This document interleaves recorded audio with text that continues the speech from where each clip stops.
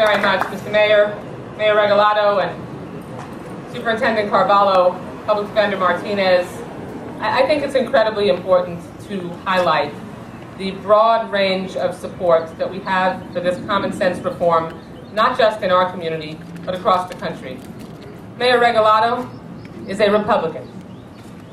Mr. Martinez, the public defender, is a Democrat. I'm a Democrat. Chief Hurley is here from law enforcement, the superintendent of schools, across the range of philosophy and across the range of government.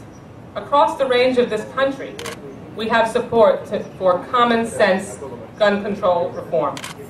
I'm so proud to stand here with Mayor Regalado and with mayors against illegal guns to highlight the critical need to combat trafficking in illegal guns and keep guns out of the hands of violent criminals and those who are mentally unfit.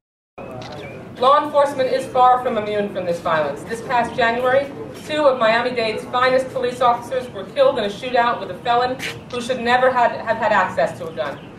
Veteran detectives 41-year-old Roger Castillo and 44-year-old Amanda Haworth were killed trying to bring in a fugitive wanted for murder.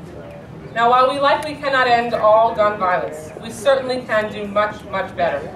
We have laws on the books designed to keep guns out of the hands of those who should not have them. We just need to close the loopholes and improve the information available to law enforcement. 90% of Americans, this is a factual statistic, 90% of Americans, conservatives, liberals, people in the center, believe that a simple background check should be required of anyone making a firearm transaction. This proposal is the most common sense, simple thing that we can do that has the most universal agreement across the country from every end of the political spectrum, and it is something that we need to do in short order. Thank you, Mayor Regalado, for your incredible leadership on this issue, for your bravery.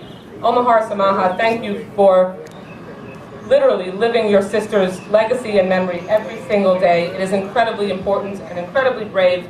Thank you, and on behalf of Mayors Against Illegal Guns, thank you for the opportunity to bring this message to South Florida and to everyone in Congress. We can't bring back those who we've lost, but we can honor them by doing everything that we can to keep guns out of the hands of those who shouldn't have them and not lose anyone else. Thank you so much.